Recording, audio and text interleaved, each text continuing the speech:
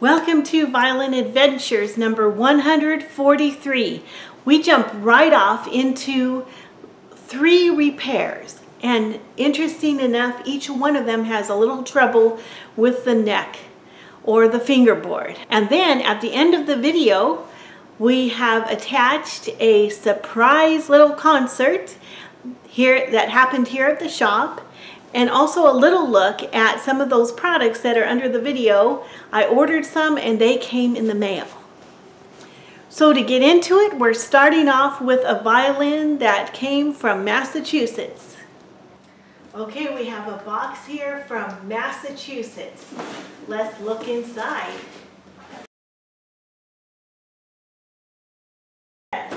All these boxes in here giving support is awesome. I did. Okay, we've got a bow which we'll rehair.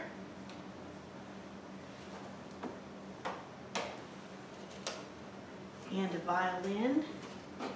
Alright, you can hear the sound post rattling around inside. So we'll get that out and get it a nice new bridge and some new strings. Okay, we're starting off with our violin from Massachusetts which needs to be set up. But here on the back, it looks like over time, and this some old violins will do this, the, the glue will just loosen up. And if, if, especially if the violin gets a little warm. So you can see here the, the height of the fingerboard is too low. And that's because this heel is not in the correct placement. Anyway, what we've got to do now is separate this heel from the button and make sure that the block is in the right place and then we can reset the neck. Okay, so the good thing is the block is firm and solid and it was just loose on one side and it looks like there's just a pile of glue in there that we need to take off and then hopefully it will go back where it belongs. So I'm going to clean off the glue and I'll see you after that. Okay, this is the Massachusetts violin. I got the neck all cleaned up, all the old glue out. So I'm going to take it out here and get it ready for gluing. Okay, everything is set and we're going to let that dry for a good 24 hours. And then we can get going on the bridge and the sound post. And what was wonderful is there was a little chip of wood that came off and they, he saved it in this little container. That saves us so much time and cost if you have those little pieces that we can glue right back on. So I'm going to put that on first and then we're going to make a bridge for this violin and set up the sound post.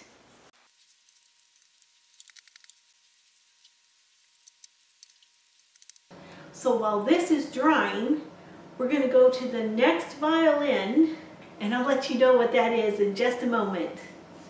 Now this violin, it lost its neck and when the neck broke off, so did the button. So this is a little bit of a complicated repair where we need to get the button off of here and we need to inlay a support for the button and then we can reset the neck. So we're going to get started on this. I have all the parts in this little box and this one we'll call the Maggini copy. And this is the one where the button is broken right off the back. So first things first, I'm going to get this button off. There it goes. Okay, the button is off. So I'm going to set this aside in a safe place. I'm going to get a put the button aside. And next we're going to inlay a piece of wood here to support the button.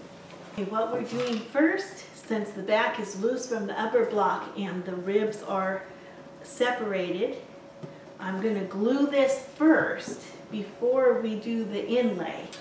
The inlay is almost ready to go, but we have to get this solid first.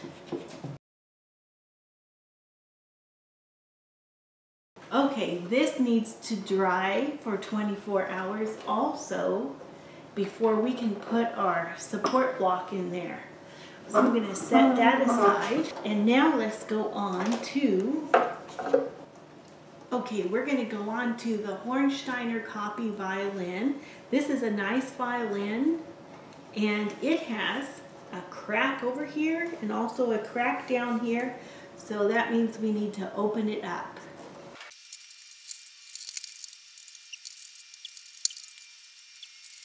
Yeah, this violin has been opened before, and that's something that's hard when you're reopening a violin. It wants to go where the last person uh, opened it. so you have to be careful that it will open in the right place. So right off we know this violin is not 18, from 1872. This is a violin made in the 1900s um, and made to look old. So I would guess this is probably around 1960s or 70s. The crummy sound post, so we'll definitely want to replace that. Okay, here we're at the Massachusetts Violin and we just got the neck in and it has been drying overnight and the bridge is ready. Cut a new bridge to fit the height of this fingerboard. And now, looking at the sound post, this is a good piece of wood, but it is too old and we need a fresh piece of uh, wood for the sound post so that it is more lively because violins are made so that we can replace the bridge and the sound post after so many years they need replacing. Okay, we're going to put the new sound post in.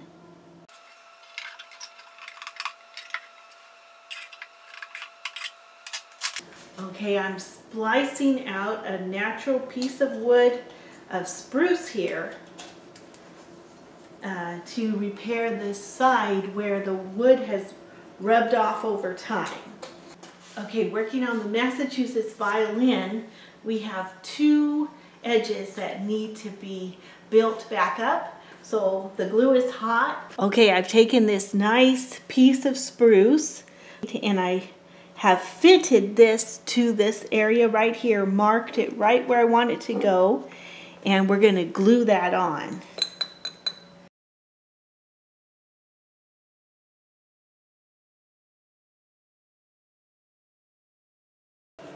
Okay, over here is the corner and I've been working on some way to glue this little corner piece on.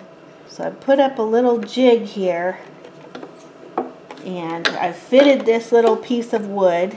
Um, the weight of the rubber band pushes the repair off. So that's why I have this little block of wood just to hold the pressure from pushing it down. And we'll let these dry now for 24 hours. Okay, this is our Maggini copy, and this is the one that had a broken neck with a button broken off. So, yesterday we stabilized the upper block so that it wouldn't move. It's now glued solid to the back, how it's supposed to be. And so now we can go on with putting in our support block for the um, button. And this is also going to support the neck. So what I've got to do now is fit this support block in here so it's nice and solid. So that's going to take a little while, but for all of you watching, it'll just take a second. Okay, we're at this uh, Maggini copy violin and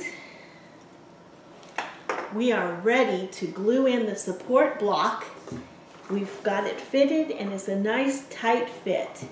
So first off, I'm gonna, I'm gonna set in the button first. Okay, we're gonna let this dry now for 24 hours and then we'll be able to put the neck back in. Okay, now it's time for a little rant, right? Okay, yesterday we opened up this violin which has a label stating that it's a Hornsteiner from 1872. Well, they did a good job making it look old, right? It's nicely antiqued and it looks nice and old, but it absolutely made my blood start to boil when I opened it up to see this wood is not from the 1800s. This was probably sometime in the 1900s and as far as where it's made, uh, let me tell you a story. So a few years back, I was curious because there was someone on eBay selling these very nice looking instruments. And I was curious because they were affordable and they had labels of all these famous makers. So I went ahead and ordered a cello. When I got the cello, first off the neck was broken off and I could see right away they were doing this on purpose so that they could get money from the insurance when I ship it back. So they were just making money all the way around. Then when I looked at the wood, the wood was very fresh. So these people were being very deceitful and of course I turned them in. And so that's the story that immediately flashes through my brain when I look at something that's labeled old and you get inside and it is it is not that old so beware of fake labels and there was a lot of this going on in the 1800s but sorry to say it still goes on today in the 1900s and even in the 2000s so on this violin we are going to just take off this was repaired before we're just going to put the proper cleats in and then glue up over here where this crack was. The Hebrew minute.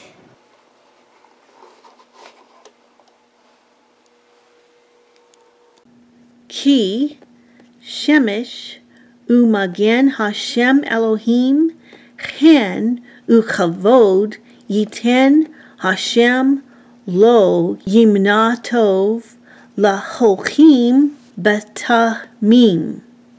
For a sun and a shield, the Lord God will be. Grace and glory the Lord will give. Uh, he will not withhold good from those who walk uprightly. If you know where this is found, please leave it in the comments below. Freddie wants to chat. Hi, everybody. Hi, I'm Freddie, and uh, and I got some pictures here to show you because uh, Mr. Winters sent in pictures of Mr. Cosman's hammers. It, that is, isn't that amazing? So uh, Mr. Winters was so happy with the hammers that he wanted us to show them again. And I agree because I got my own hammer and they're amazing. So. Well, Freddie got just a little speechless there. So I'll tell you what Mr. Winters said about these hammers. He said that he got one from Mr. Cosman and he was hoping that Freddie would show it off. The workmanship on it is just exquisite exquisite, truly, silky smooth in the hand and just like a beautiful ballerina.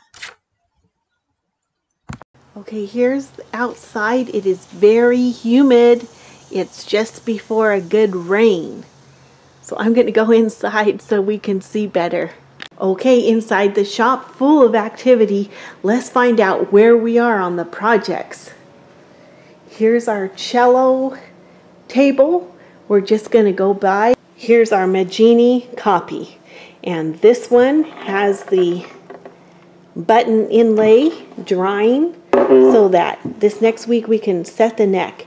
And this is going to need a taller bridge because the neck will be back in the proper position. So we need a new bridge on there And probably with the new bridge, you might want a new sound post. That's the Maggini copy.